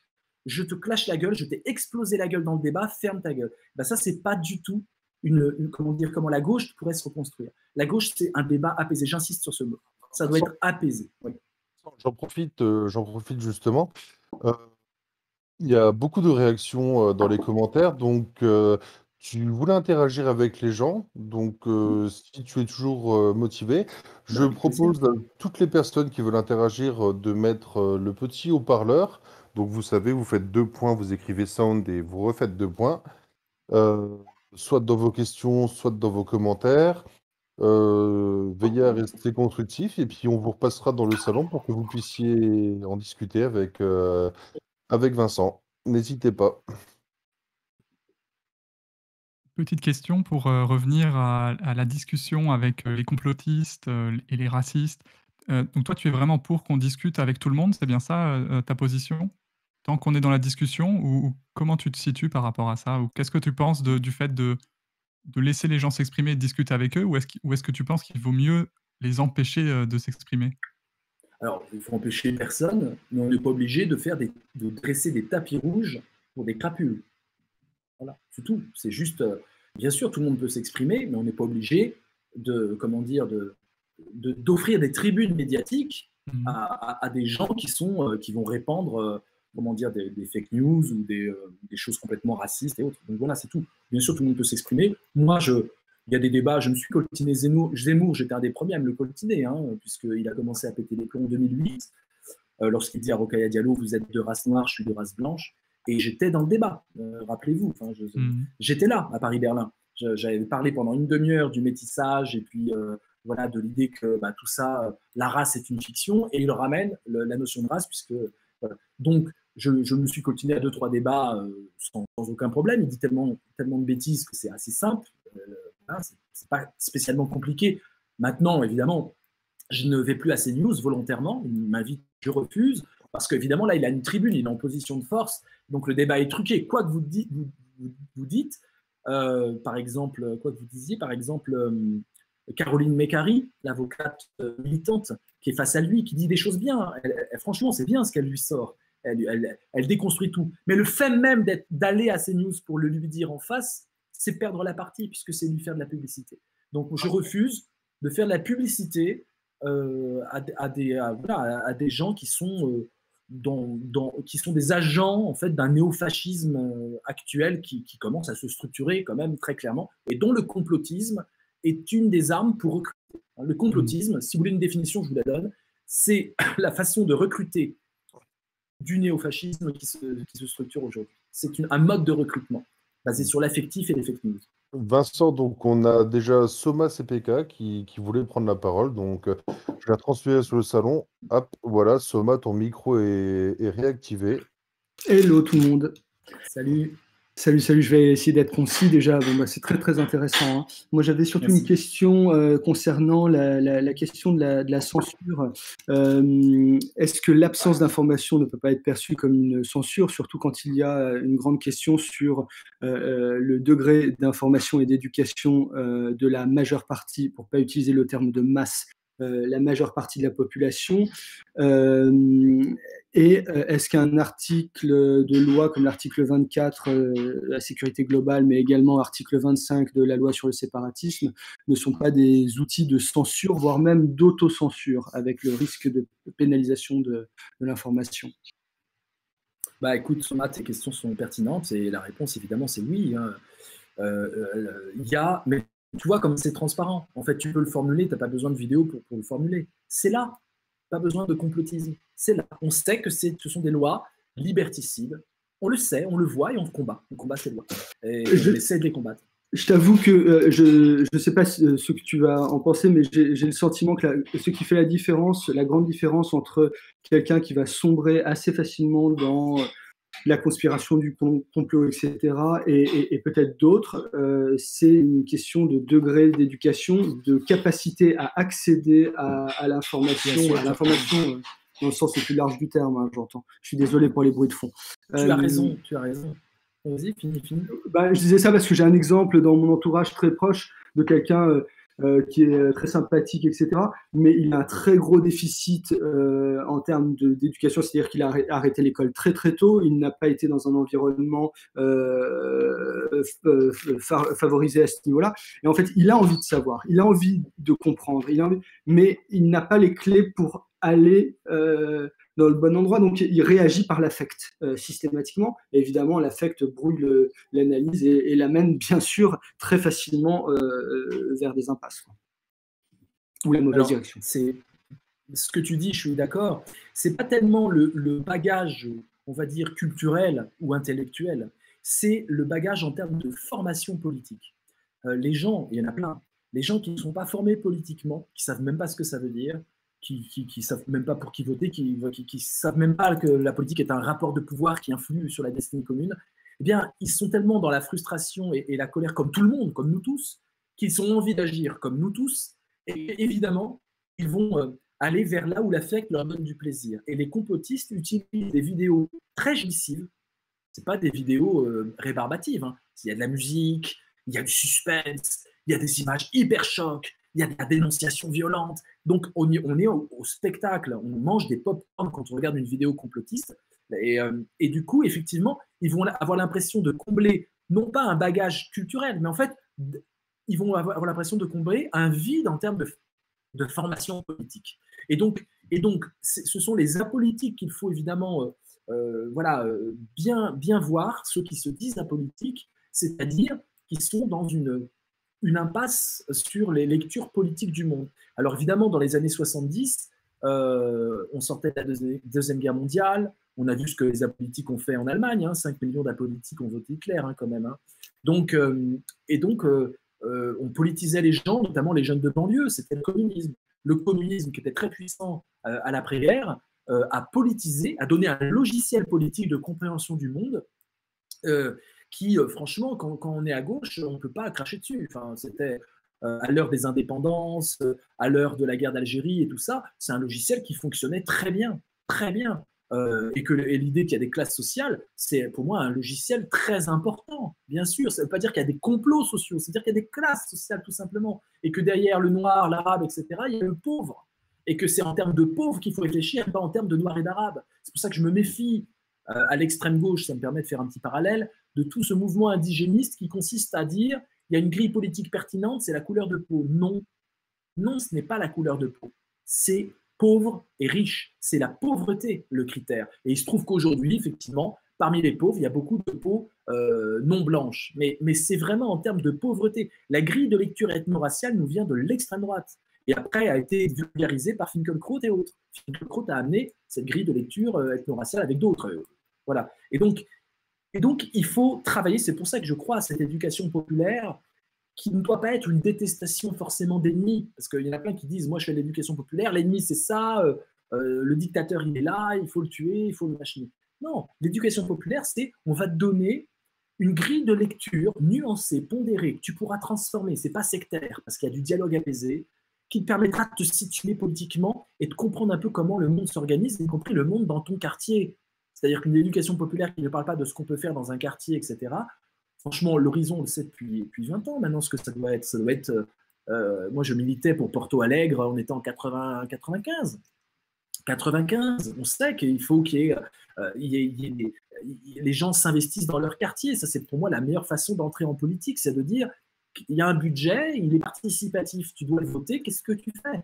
Et ça, moi, je l'ai fait en classe de CP. J'étais dans une école expérimentale, l'école Levaux à Bagnolet, et, euh, c'était très progressiste, sortant de mai 68, et on nous disait, 68 étant l'ennemi à, abattre pour l'extrême droite, vous savez bien, Marion Maréchal Le Pen a encore fait des sorties en disant il faut carrément, euh, pas liquider l'héritage comme disait Sarkozy, mais euh, dissoudre ce qui reste de mai 68. Et, et cette école un peu expérimentale on avait le droit d'avoir un budget et on pouvait décider dans notre classe si on achetait un poisson rouge ou si on achetait euh, une nouvelle table, etc. Donc ça commence là, ça commence dans l'école. Il faut absolument comprendre qu'est-ce que ça veut dire participer, qu'est-ce que ça veut dire voter, accepter d'avoir un, vote contre soi.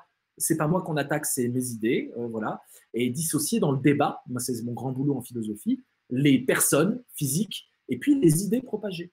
Donc pas de discrédit personnel. Dès que vous vous lâchez sur les réseaux en faisant du discrédit personnel, euh, ça n'empêche pas de balancer une caricature parce que ça nous fait rire, hein, c'est pas évidemment, faut pas. Mais dès qu'on est un peu dans une attaque hargneuse sur la personne et pas sur les idées, ben, on n'est pas dans le, dans le, secteur de la politique, on est dans, dans le secteur euh, voilà, de, de, hmm. l'idéologie. On a une question de Megan qui voulait intervenir à l'oral, on va euh, la laisser parler. Oui, bonjour. Alors, je voudrais me faire un petit peu le, porte-parole donc euh, de, ce qui a pu se dire dans l'infini principal. J'ai noté trois points qui avaient, à mon avis, eu le plus de réactions. Euh, la première, c'est euh, sur l'ordon, quand vous avez dit qu'il était pseudo de gauche, et je pense que beaucoup de monde aimerait que vous reveniez sur ce point et que vous argumenteriez un petit peu plus votre accusation, qui, à mon avis, peut être considérée comme étant très grave pour Monsieur Lordon. le deuxième point, c'est sur le fait que vous avez dit que la censure était déjà une notion complotiste, alors que le chat s'est globalement dit que la censure relever bien des formes et qu'effectivement il y avait tout de même une notion de censure du coup euh, dans, euh, eh bien, euh, dans, dans, ce pays et même globalement dans le monde. Et le dernier point qui a été, qui a été soulevé, c'était que eh ben, vous faisiez exactement ce que vous dénonciez dans la, la, nature de la dénonciation. Que vous, en fait, ce qui a été dit globalement, c'était que vous faisiez ce que vous dénonciez, à savoir désigner un ennemi qui serait l'extrême droite, le complotiste, le haineux, etc., etc. Ce qui n'a pas non plus été très apprécié. Puis j'aurais une dernière question un peu plus personnelle. Euh, qu'est-ce que vous pensez d'Étienne Chouard? Est-ce que vous le euh, est-ce que vous le mettriez dans la catégorie euh, des personnes qui sont complotistes? Ah, Désolé pour ces, quelques questions un peu longues, mais je pense qu'il fallait. Alors non, non, c'est important. ça fait écho. En plus, c'est important. Alors Lordon, moi, je ne vais pas me prononcer. Je, je citais juste, je ne sais plus comment j'ai cité Lordon dans l'idée de, de, mandarina. Il y a un très bon article euh, de, de Corcuf, j'aime beaucoup Philippe Corcuf, euh, qui s'appelle, c'est un article de 2016 qui s'appelle S'émanciper du lordon roi. Voilà. Moi, je l'ai vu à Nuit debout, je ne savais pas que ça existait à Nuit debout. Ensuite, j'ai écrit des livres. Euh, voilà. moi, je ne vois pas une pensée de gauche là-dedans. Je, vois un mandarin qui se bat pour avoir le leadership de l'intellectuel phare de l'extrême gauche. Pour moi, c'est pas pas ça. On n'a pas besoin de ça. C'est des combats pour moi d'arrière-garde. C'est des combats euh, des années 80. Euh, pour moi, c'est très vieux cette, cette, idée que voilà. Donc je lis ces papiers à chaque fois. Il y a de on est dans un registre de détestation absolument non constructif. Recycler Spinoza, vous savez, hein, Spinoza, tout le monde se réclame de Spinoza. Euh, Philippe Val, le dieu de Philippe Val, c'est Spinoza. Philippe Val n'est pas, voilà, c'est pas mon modèle d'homme de gauche. Hein. Donc euh, Spinoza, euh, on n'est pas dans une lecture, d'Antonio Negri de Spinoza. Donc pour moi, on a euh, dans, la pensée qui se déploie, qui, peut séduire, hein, je ne dis pas que ça ne séduit pas, parce qu'il y a, on va mettre une bombe, ça va tout exploser, on va tout casser, et puis il y a cette détestation du pouvoir. pour de constructif là-dedans. Voilà, c'est tout ce que j'ai à dire. Je ne veux pas m'attendre. C'est pas personnel, en fait, c'est des idées. Je, ne suis pas nourri, ça ne me nourrit pas et ça donne le pathos, ça sort sur ce pathos de détestation que, je, condamne ici. Euh, euh, voilà. Mais là, vous n'avez pas plus l'impression de vous attaquer à l'homme qu'aux idées? Bah, Je connais pas, non.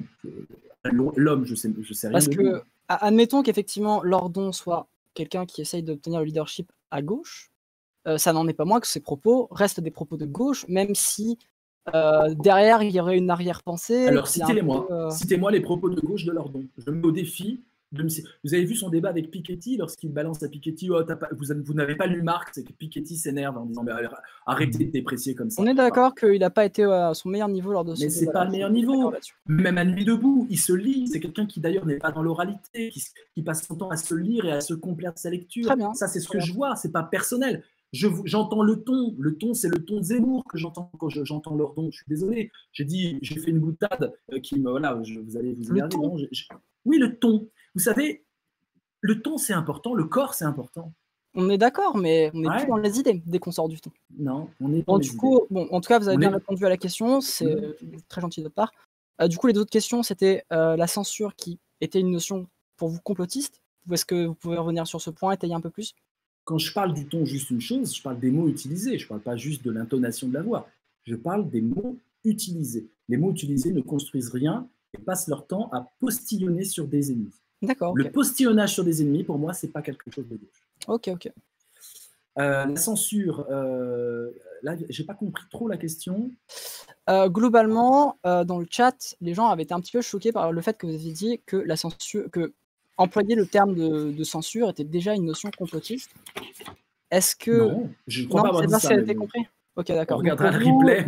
pour vous, si on dit qu'il y a de la censure, c'est pas le premier pas vers le complotisme qui mène à l'extrême droite mais il y a de la censure. Euh, bah, ça dépend ce qu'on entend par censure. L'autocensure, non, non. Pour moi, on n'est pas dans un pays où il y a une censure. Alors après, il y a des réflexes d'autocensure, de je me retiens, etc.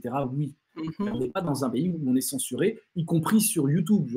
mais si jamais quelqu'un dirait que considérerait que dans ce pays-là on est censuré, vous, ça ne vous choqueriez pas et vous ne traiteriez pas. Je demanderais des preuves. Je, demanderais des preuves concrètes. Quand vous me rétorquez Assange, tout ça, pourquoi pas? Je ne connais pas le dossier, je vais voir. Mais encore une fois, les faits, allons voir les faits. Impeccable, impeccable. Euh, puis le dernier point, c'était est-ce que, une fois, vous n'avez pas. Bon, on a un petit peu revenu sur l'ordon, donc je ne vais peut-être pas m'éterniser, mais c'était que. Euh, est-ce que vous aviez. Euh, vous n'êtes pas. Vous exactement ce que vous dénonciez, c'est-à-dire que vous aviez tendance à dénoncer un ennemi, le complotisme. Bon, non, non, je dénonce pas. Le complotisme n'est pas un ennemi. Mmh L'ennemi, j'en ai pas. J'ai des adversaires politiques, ce qui n'est pas pareil. L'ennemi, je veux de la haine et je veux le tuer. Je veux tuer personne je veux combattre des idées. pas dans une notion d'ennemi. L'ennemi, c'est personnalisé. Moi, c'est les pensées qui m'intéressent. C'est les pensées. On ne peut pas être ennemi d'une pensée, on peut les combattre. Mais mm. Et euh, effectivement, moi, je me situe profondément euh, pour, euh, voilà, contre, contre les injustices, y compris sociales et économiques. Et évidemment, des idées qui diraient il y a des boucs émissaires, enfin, qui utiliseraient des boucs émissaires en disant, en divisant le peuple et en disant, voilà, euh, il y a des civilisations différentes, il y a des races qui sont supérieures, etc. C'est des, des, idées à combattre, effectivement. Donc oui, d'ailleurs c'est étonnant d'être étonné que je, considère l'extrême droite comme étant quelque chose à combattre. Euh, voilà, je, vous renvoie. c'est juste, c'est pas, c'est pas une critique, c'est juste qu'on avait l'impression que c'était un petit peu en désaccord. Mais vu que vous faites effectivement bien la limite entre l'adversaire et l'ennemi, eh bien effectivement, je pense que je comprends un peu mieux vos propos. Et mon dernier point, donc du coup, c'était sur Etienne Chouard. Qu'est-ce que vous en pensez? Je ne connais pas le dossier. Je trouve inconséquent lorsqu'il dit on peut parler à tout le monde. Cette idée de parler à tout le monde en parlant de, de Soral et autres, je trouve totalement irresponsable et inconséquent de propager cette idée-là, cette Vincent, Vincent je me permets de te couper justement parce que Étienne est arrivé. Et potentiellement, il serait intéressé pour discuter avec toi. Donc, euh, est-ce que, est que ça t'intéresse? Est-ce que... Est-ce que tu as encore le temps, aussi, surtout? Parce que c'est, ça en a déjà dépassé. Ouais. Euh, on peut organiser ça une autre fois avec plaisir, mais là, au niveau du temps, je ne peux pas trop. Vous pouvez... on organisera ça une autre fois alors. Merci. avec plaisir. Merci beaucoup. Comme, euh, comme tu veux. Sinon, vous pouvez éventuellement discuter au début. Tu peux repartir quand tu, euh, quand tu le souhaites. Enfin, enfin voilà. Il est en coulisses. Donc, Ouais, mais je vais pas avoir le temps. Ça va être très frustrant. On va commencer un truc et je vais devoir m'arrêter. Donc, c'est frustrant. Mais euh, D'accord. Donc on retient l'idée pour. Euh, voilà. Faut préparer un truc et que je me réserve du temps. Ok, est-ce que, est-ce que tu as une dernière question à poser? Et puis après on va peut-être clôturer euh, la conférence Euh, non, bah, je je ferai une vidéo sur la question de la censure et je te l'enverrai Vincent, heu, avec Ouais. un un argumentaire détaillé, heu, voilà, pour avoir un débat apaisé sur la question. Parce que je pense qu'il y a pas mal de points à plaisir. soulever et voilà, c'est peut-être pas le lieu là, donc on on on se redit à une prochaine fois pour ça. Je ferai une vidéo sur ma chaîne sur le suis, sujet. je suis toujours très disponible. Vous voyez, vous avez pu me contacter très facilement. euh, Je réponds à mes messages. euh, Voilà, j'ai pas de community manager et n'hésitez pas. euh, voilà. Ok, super. Bah, Merci écoute, merci beaucoup Vincent pour la qualité Merci de ton vous. intervention, d'avoir répondu vraiment à toutes les questions. Euh, pour tes conseils d'action aussi, euh, tu as dit euh, faut agir à l'échelle locale, dans son quartier par exemple. Faites des choses et ne passez pas votre temps à regarder les fake news et le complotisme. Agissez dans le réel, Impliquez votre corps impliquez votre parce corps. que les idées et le corps sont liés. Les idées et le corps sont liés. Impliquez votre corps dans l'action. Ce sera le mot de Les la fin. Merci beaucoup pour toi et bonne journée Merci à vous. Merci. Merci. À bientôt.